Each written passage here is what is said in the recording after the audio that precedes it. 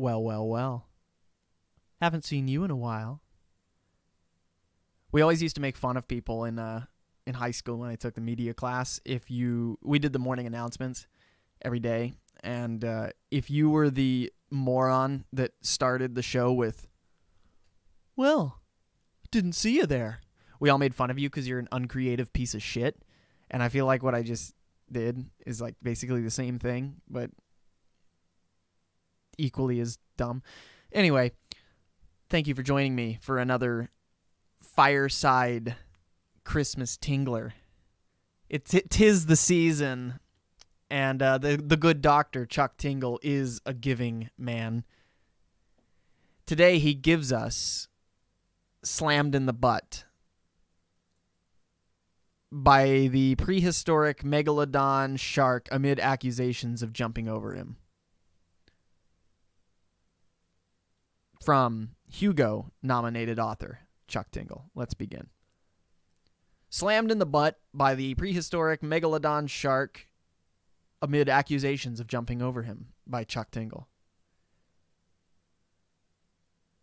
I haven't talked with Court in ages, and it's certainly good to see his face again as we stare at one another across the table in this fancy, bustling restaurant on the waterfront. But after all this time, I can't help but be amazed at how little this guy has changed.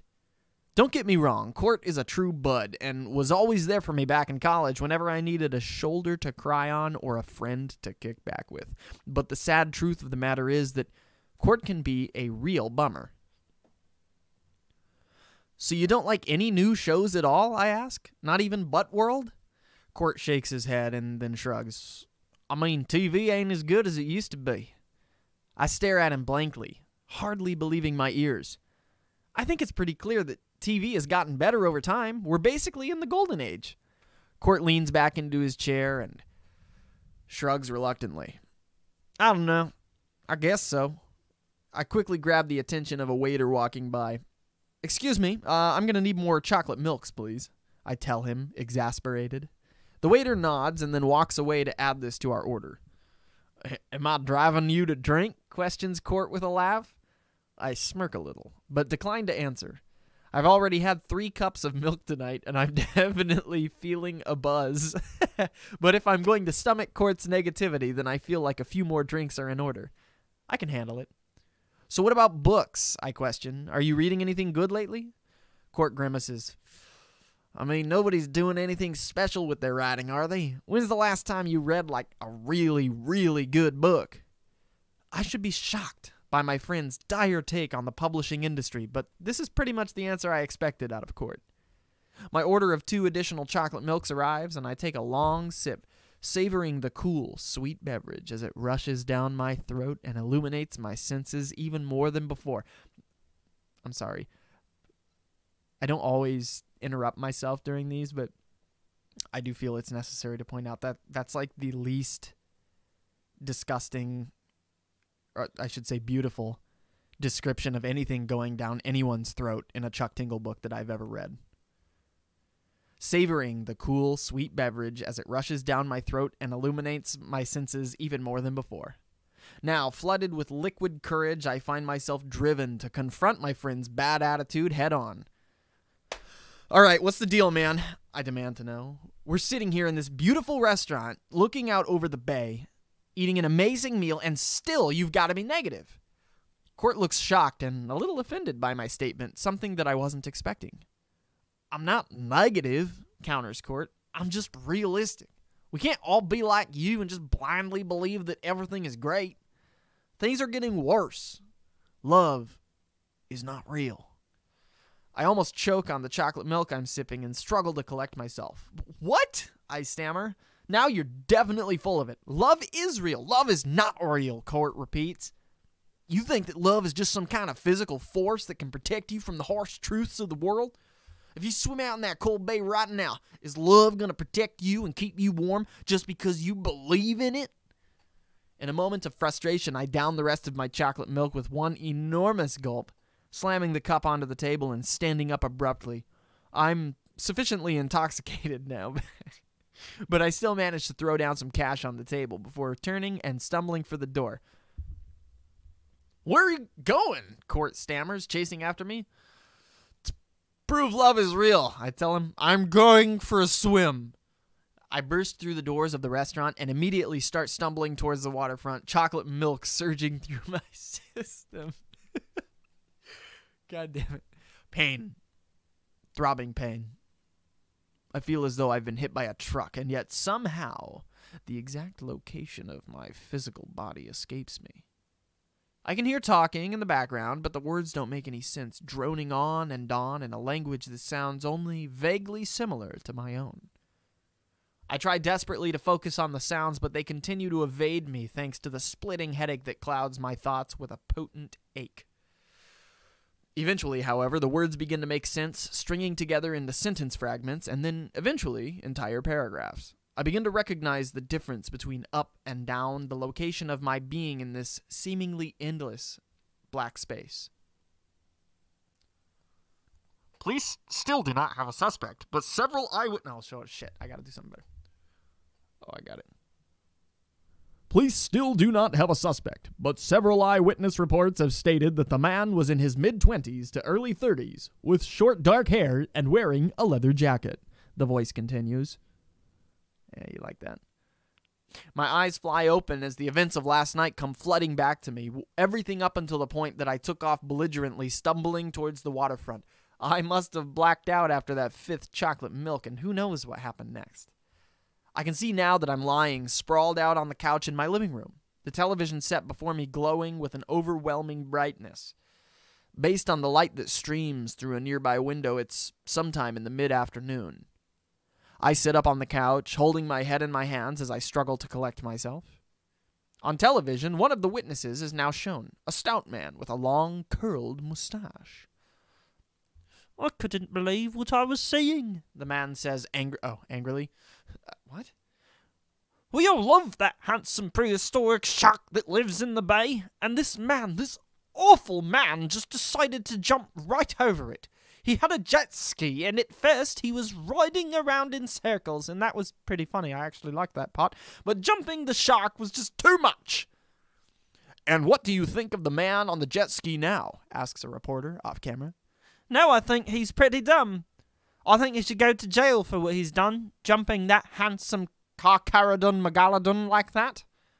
That ancient shark measuring up to 59 feet in length never hurt anybody. The television flashes back at a scene of two anchors sitting at their news desks side by side. Behind them is a picture of an utterly enormous prehistoric shark who is smiling at the camera and waving. Sorry. Police are asking that if you have any information on the perpetrator of this terribly disrespectful jet ski jump, dial the number at the bottom of the screen. One of the anchors says stoically. I'm getting a text message from my mom. what?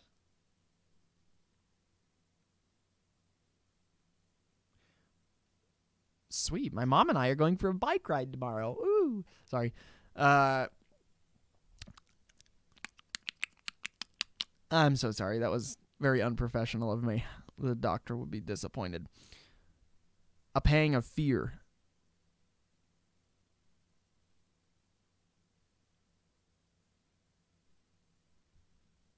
I lost my place. I'm sorry. This is this is uh, unfortunate. This I'm sorry, honey. This uh this usually doesn't happen.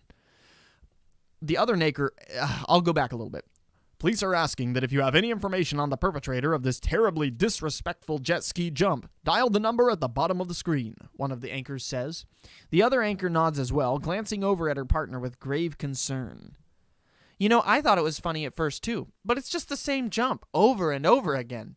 A pang of fear suddenly strikes me deep, hit hard by the realization that the man they're looking for is very likely me. Could I really have been trying to prove love so hard that I jumped the shark? Uh, it's not possible, I assure myself. They must be talking about someone else. The second that I think this, however, I reach down and pat my shirt to realize that it's still damp from the night before. My skin feels salty, and I can pick up the faint smell of ocean water wafting off of me. Oh no, I say to myself aloud. Oh no, oh no. I jump up from my place on the couch and rush over to my laptop on the nearby table, quickly hopping online and typing a frantic Bing sh- search. Bing chilling. What is the punishment for jumping sharks? I ask, then slap the enter key. The results are immediate. The punishment for jumping sharks, prehistoric or otherwise, is complete and utter exile from all civilization, banished to a life of wandering meaninglessly, meaninglessly through the desert wasteland. I can already feel the panic that swells within me to rush, rushing to a terrifying boil just about ready to spill over as I grip the edge of the table before me. I remind myself to breathe deep, to focus on things that are in my control. What do I do? I ask myself aloud. What can I do to fix this? I suddenly realize that there's only one person I can talk to now, only one piece to the puzzle that can actually do anything to change the inevitable outcome I am suddenly hurtling towards. I need to talk to that Carcharodon megalodon and apologize. I consider washing up, but then quickly remember I'll probably just be jumping back in the water within an hour's time, so instead I pull on a large, oversized hoodie and cover my eyes with a pair of dark sunglasses. I can't risk anyone recognizing me down at the marina before I get a chance to tell this handsome prehistoric beast my side of the story. Soon enough, I'm headed out the door and running down the driveway with the hope that my car is sitting out here somewhere and quickly learning that it isn't. I was irresponsible enough to jump a jet ski over an enormous ancient shark, but not irresponsible enough to drive home five milks deep. And while I'm somewhat proud of myself, I can't help but be disappointed that I'm in for a long bus ride.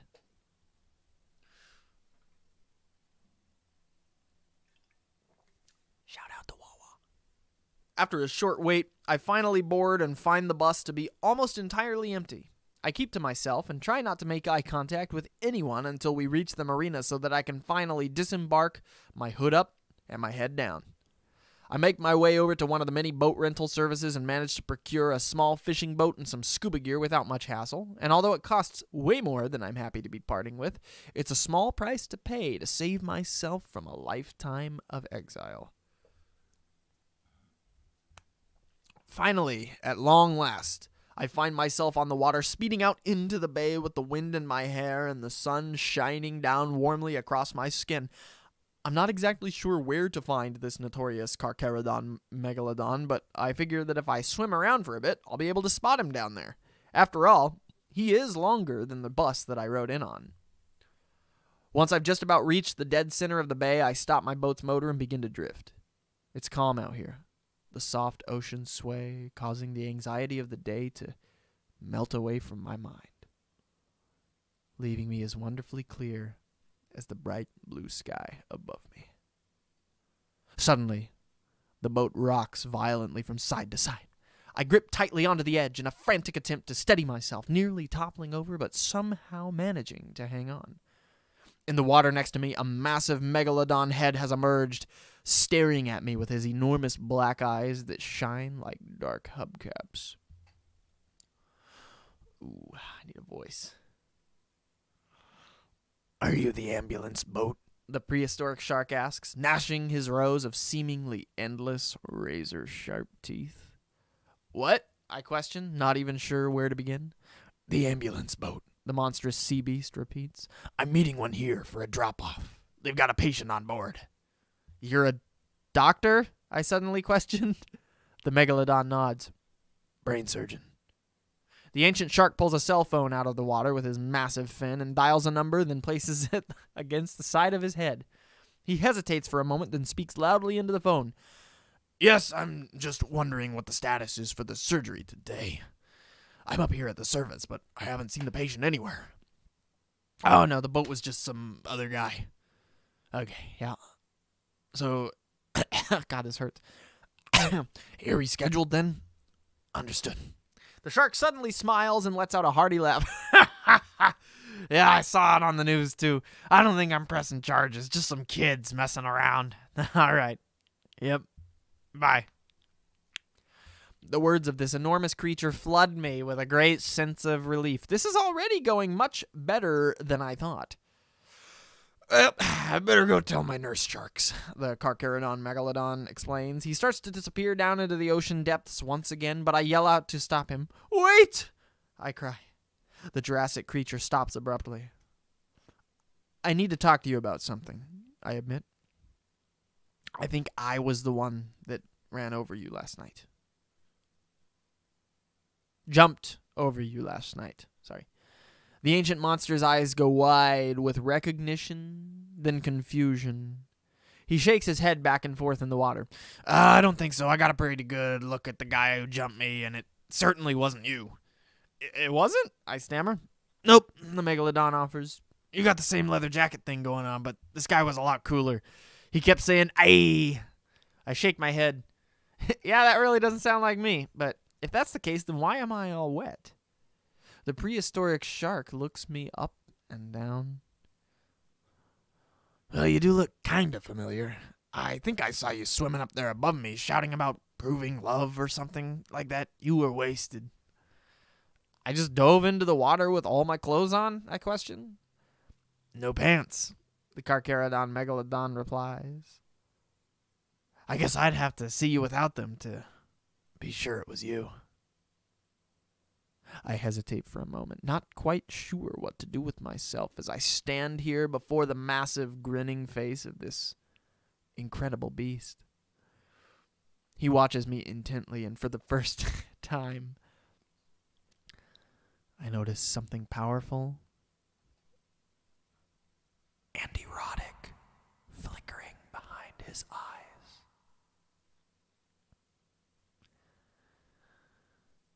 I feel like I should know your name before I take my pants off in front of you, I tell the megalodon. Dr. Yono, offers the beast. Perks, Yono. I'm Morn Mintz, I tell him. We stand here in silence for a minute longer, than I finally reach down and unbuckle my belt, slipping my pants to my ankles. You were totally bottomless, Dr. Yono continues. I'm going to have to see that dick. There's no question now that the coaxing words of this handsome prehistoric shark have a, have a highly sexual tension lurking just below the surface, and I quickly realize that for some reason, I don't really mind. In fact, the longer our chance meeting continues, the more I recognize that I'm hopelessly attracted to this ancient sea creature surgeon.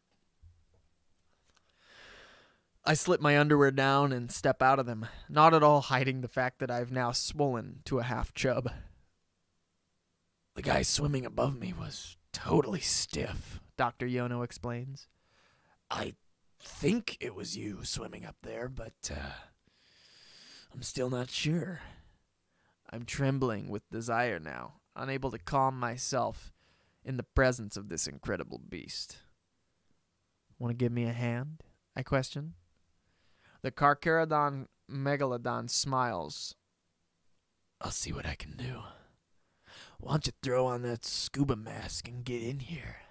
Without hesitation, I strip off my jacket and tank top, then hoist the scuba tank onto my back and place the face mask over my face. I climb up over the side of the boat and then drop in the cool water below. It feels incredible, washing across my skin, soothing away any of the limited nervous tension that I might have had left. Now below the surface, I can finally get a glimpse of Dr. Yono's muscular body. My eyes transfixed, uh, transfixed on this toned physique that spends its days tragically hidden beneath the waves. The prehistoric shark swims over me and wraps his fin around my cock, his gray skin much softer than I would have expected for such a typically rough species. species. He immediately gets to work pulsing his fin up and down across the length of my shaft. Oh my fucking god, I groan, the words floating out of me in a cascade of bubbles that briskly make their way to the surface. oh my fucking god. The prehistoric shark strokes me like this for a good while, paying close attention to the rhythm of my hips as I push back against him. With his other fin, Dr. Yono cradles my balls playfully, enthusiastically working my shaft as diligently as possible. Do you want me to suck you off? The Carcharodon Megalodon coos. Perks, Yono's question is not an easy one, as my desire to receive a blowjob from this handsome creature is only matched by my apprehension for his razor sharp teeth. Yeah. Still, this monster of the deep has done nothing to betray my trust so far, and uh, I feel as though I'm a pretty good judge of character. I've come this far already. Why not give in to these powerful homoerotic desires that consume me so completely? I nod frantically. Do it, I say, the words cascading out in another eruption of bubbles. The next thing I know, Dr. Yono is opening wide and taking my cock betwixt his lips. Okay, it actually says between. Slowly moving his head up and down across the length of my shaft, I let out a long, satisfying groan, throwing my head back and reeling from the ancient shark's incredible blowjob skills. Overwhelmed with aching lust, I reach behind the good doctor's head and pull him up against me, plunging my cock as far as I can into the creature's waiting mouth. It feels amazing, and Dr. Yono is loving every second of it, savoring the way that this small swimming man has taken control of such an enormous beast. I hold the megalodon here for a while, and when I finally release, something very clear and distinct has changed about the doctor. There had always been something flirtatious between Doctor behind Dr. Yono's grin, but our current erotic encounter has kicked things into high gear. Seizing my chance, I dive deep and take off, swimming towards Dr. Yono's utterly enormous rod. Sorry, I'm just making sure this thing is still recording. It takes a while to get there, but eventually I see his massive member coming towards me in the darkness of the ocean. When I finally reach it, I wrap my hand around Yono's girthy dick, beating him off with lustful gusto. Fuck yeah, stroke that ancient apex predator surgeon cock, moans Dr. Yono, pumping his hips in time with my hand. I can tell that he's already aching for more, praying that I'll take things to the next level. Fortunately for the handsome megalodon, that's exactly what I do. Because of the scuba mask, I'm unable to service this enormous sea beast orally, but with a sudden burst of lustful adrenaline, I find myself rotating in the water, turning so that my bare ass is pressed up against Dr. Yono's enormous cock.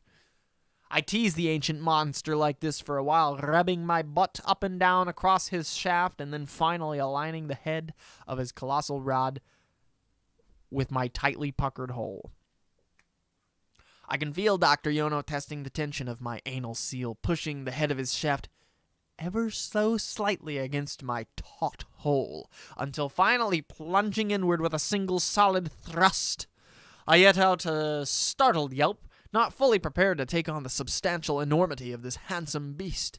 His girthy rod stretches me to an extreme that I'd never thought possible, completely maxed out and feeling as though I could burst at any moment.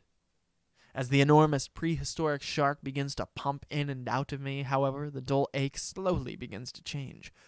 What began as an overwhelming discomfort has now been supplemented by a distinct feeling of pleasurable warmth.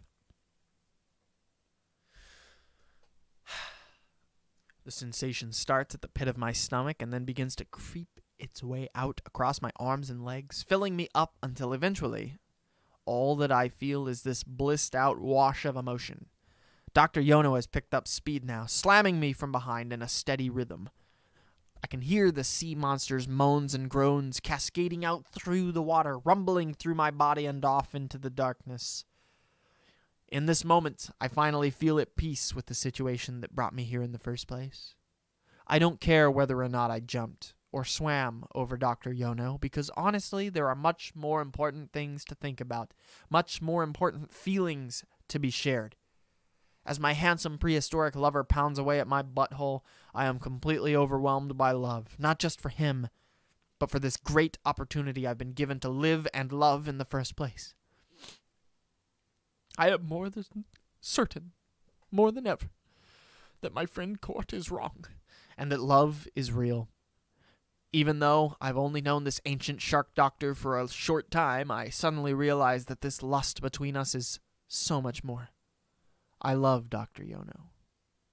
Fins and all. I reach down between my legs and begin to beat myself off in time with the Carcharodon megalodon's ferocious rams, immediately recognizing that I'm seconds away from coming harder than I ever have in my life. I'm gonna blow! I cry out, my eyes rolling back into my head as I hurtle towards a powerful orgasm.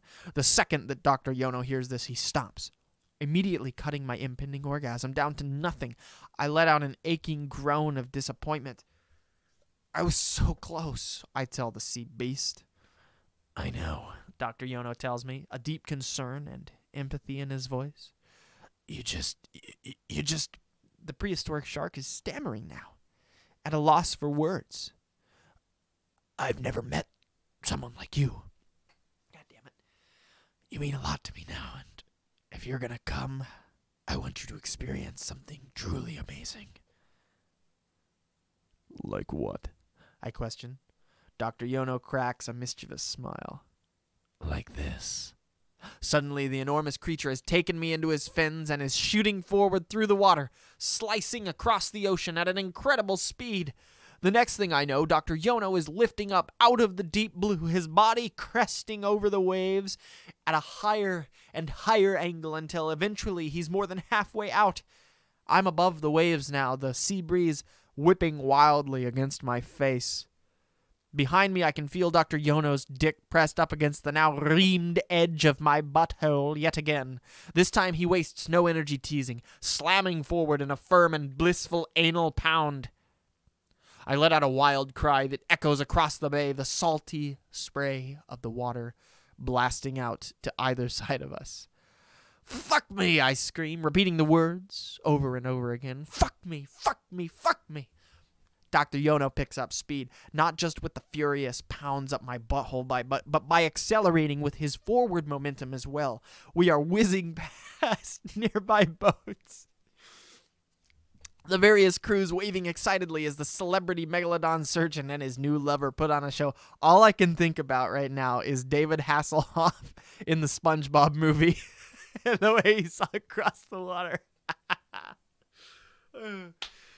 I can feel the searing heat of prostate orgasm pulsing through me, coming on fast in stronger and stronger surges. Suddenly, everything hits me all at once. My entire body heaves with spasms of blissful sensation, every muscle pulling taut and then contracting hard in a quake of ecstasy, while jizz erupts from the head of my cock.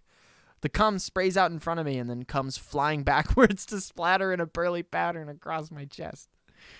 I suddenly notice that a few yards before us, a massive ramp has been positioned, the structure looming large out of the waves. Hell yeah! My prehistoric shark lover and me careened towards the jump and hit it at full speed, suddenly flying through the air. Fucking send it, Dr. Yono. Seconds later, I can feel Dr. Yono push deep inside of my butthole and hold, shaking violently as he expels a hot load of his own. The pumps of semen fill me completely and then spill out from the edges of my butthole, raining down onto the waves far below. I love coming up your ass while we jump as prehistoric shark and handsome man, Dr. Yono cries. After a shockingly long amount of hang time, we finally crash back down into the ocean, slowing to a stop as the water settles around us. that was amazing. I pant, trying to collect myself as Dr. Yono removes his cock from my butthole. Yeah, it was, the ancient Jurassic shark says with a with a smile.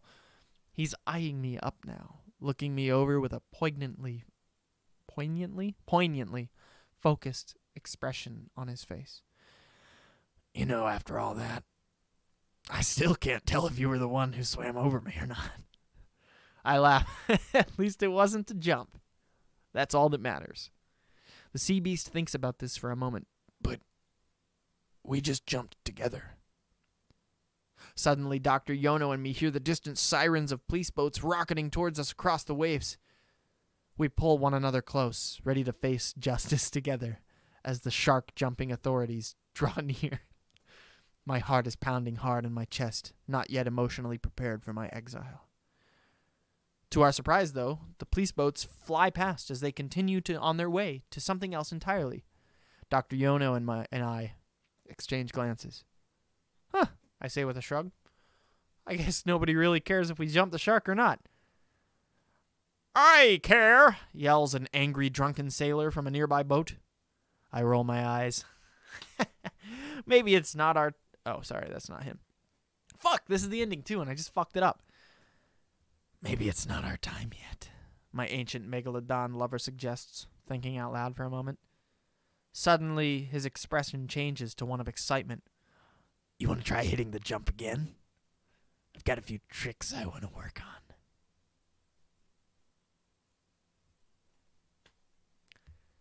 And there you have it, ladies and gentlemen.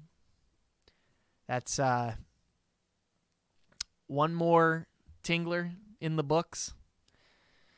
It's been like uh around a year, I think, since I uploaded anything because I've been busy. And so, like, you know, just taking care of business. Almost done with school. I got another six months, and then I'll uh, get back to work again. I'm glad that I finished that one because I was kind of worried that my wife was gonna get home. She could, she should be home any any time, and uh, that would not be. I don't, I don't know how to explain this one. um. So, I hope that you were able to enjoy a lovely Christmas tingler and uh, have a Merry Christmas to all and to all a good night. I'm trying to think if there's anything else. I don't think there is. I think that's it. Thank you for watching. Thank you for listening. Thank you to my new subscribers. I saw that. You know who you are.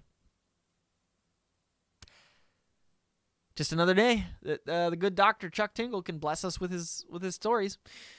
Y'all have a nice uh, Christmas. Have a happy or happy holidays or whatever it is that you do. You know, yeah. We'll see you next time in another year.